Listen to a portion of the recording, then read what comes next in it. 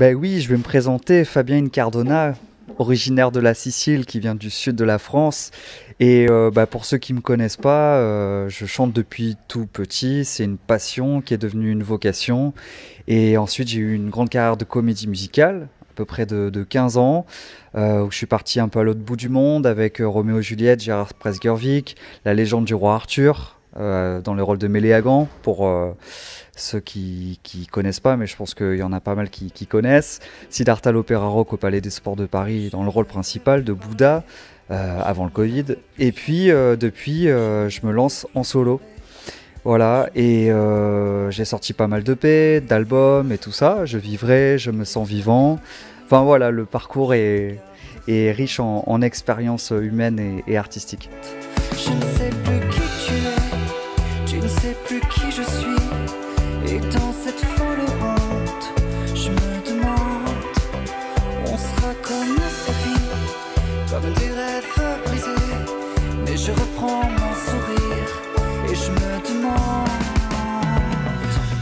Ben justement, c'est pour ça que je disais, euh, j'ai eu 15 ans de comédie musicale où effectivement le collectif euh, prend beaucoup. Et euh, aujourd'hui, j'ai envie de me consacrer uniquement à ma carrière solo, ce qui n'empêche pas une expérience, une aventure de comédie musicale comme Siddhartha l'Opéra Rock, si ça se refait en Asie, euh, pourquoi pas, bien sûr. Mais après, pour moi, aujourd'hui, je veux me concentrer sur, mes chansons, sur mon potentiel d'auteur-compositeur, comme cette EP là que je sors, je me demande. Enfin voilà, l'important pour moi, c'est ça. Mais oui, c'est bien ça. effectivement, la comédie musicale, ça m'a pris beaucoup, beaucoup de temps. On ne peut pas s'investir dans une comédie musicale et en le faisant juste à moitié. Donc ça a été toujours au dépit de finalement euh, des chansons euh, que je voulais faire, des, albums que je voulais sortir, que j'ai d'ailleurs sortis mais qui n'ont pas eu forcément de suite, parce qu'à chaque fois il y a eu une comédie musicale qui, arrivait et c'était génial, attention. Hein. Mais c'est vrai qu'aujourd'hui, bon, voilà, maintenant il est temps de, prendre le temps de, ma carrière euh, solo et de m'investir complètement. C'est une grande transition en fait pour moi de quelque part arrêter la comédie musicale et aujourd'hui investir complètement en solo, je le sais que c'est ça quoi. Et je me mets à nu en fait avec cette EP, je me demande. Je, l'ai écrit entièrement, je l'ai composé, enfin sauf je suis un chat avec Mike Dean, mon meilleur ami. Mais euh, c'est de moi que, que je donne.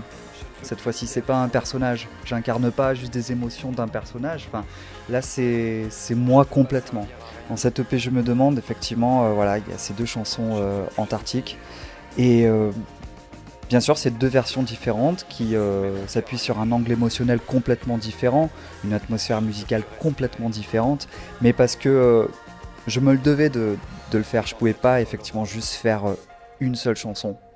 C'est un même texte, plus ou moins, mais qui est tellement puissant dans ce que je veux, dans ce que je veux dire dedans que j'étais obligé de le faire de, ouais, de, de, de façon différente, quoi. Oui, parce que Antarctique 1, euh, on va dire, euh, est beaucoup plus rythmé, beaucoup plus légère, malgré le message qui, est fort, parce qu'on est quand même sur euh, une cause écologique, un engagement écologique. C'est ce que je défends dans cette chanson-là, et puis l'amour aussi, parce que c'est le plus important dans mes valeurs, ça le restera toujours, l'amour.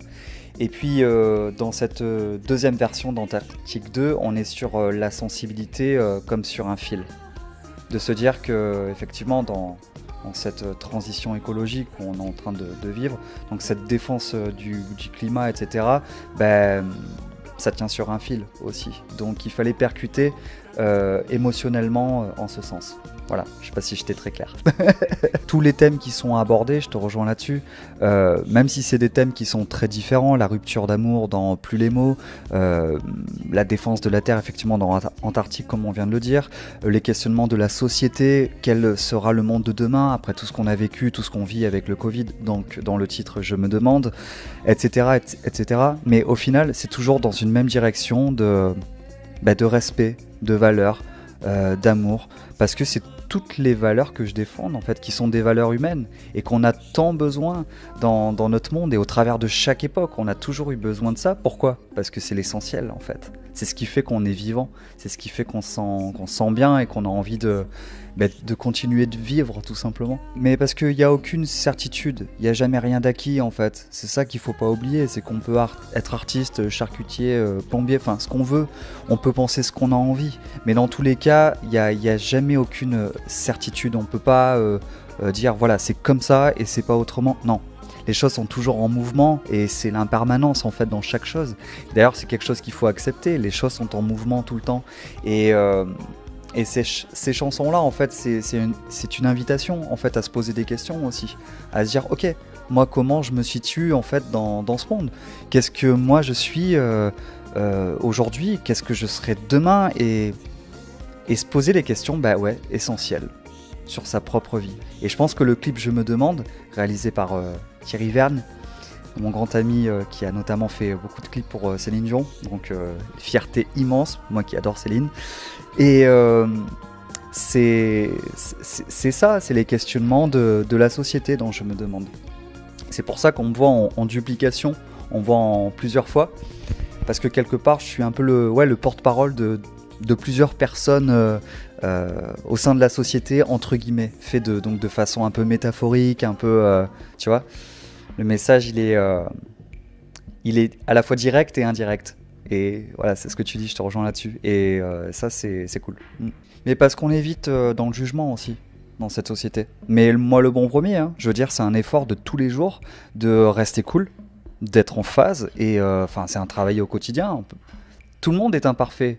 Il n'y a personne qu'on peut dire, ouais, lui, franchement, il n'y a rien à dire. Quoi. Ouais, ok, mais tu sais pas, après, tu le connais pas, sa vie, etc on a tous des efforts à faire pour être euh, bah, de bonnes personnes et puis pour aller dans une bonne direction. Parce que je pense qu'aujourd'hui, euh, je le dis d'ailleurs dans la phrase sur mon Instagram, euh, la vie c'est comme une, grande colloque où il faut arriver à tous bien s'entendre.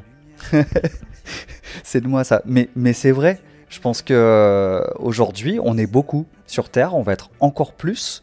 Il faut penser collectif. On peut pas penser individuel.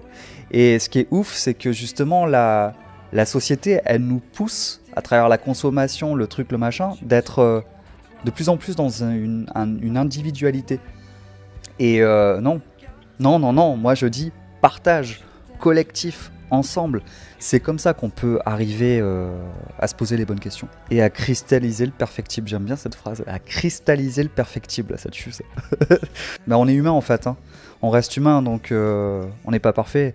Ça se saurait, hein. sinon on fait que des robots et puis, euh, et puis nous on nous met sur le bas côté. Enfin, c'est pas l'idée. Oui, après, bon, enfin, encore une fois j'ai aucune prétention, tu vois, euh, enfin là-dessus, ni quoi que ce soit. Moi, je, dis ce que je pense, je dis ce que je ressens.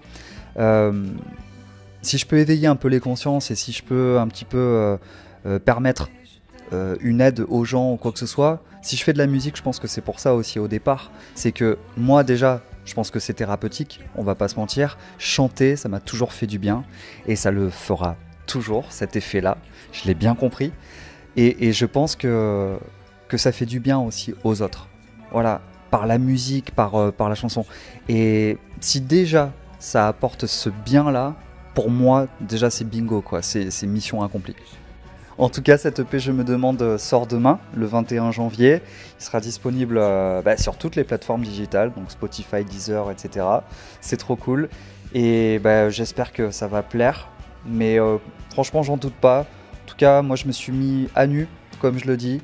Et c'est pas simple pour moi parce que bah, c'est plus des personnages là, cette fois-ci de comédie musicale, où je peux me cacher un peu derrière une perruque ou derrière euh, un costume.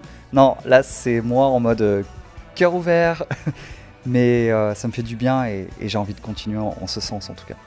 Que ça marche véritablement en faisant plein de concerts, je l'espère, euh, et, puis que je puisse rencontrer ouais, les bonnes personnes pour encore plus me structurer et, euh, et arriver à toucher encore euh, plus de public. Et, et voilà, déjà ce sera pas mal.